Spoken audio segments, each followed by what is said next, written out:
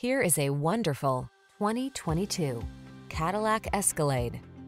This vehicle still has fewer than 5,000 miles on the clock, so it won't last long.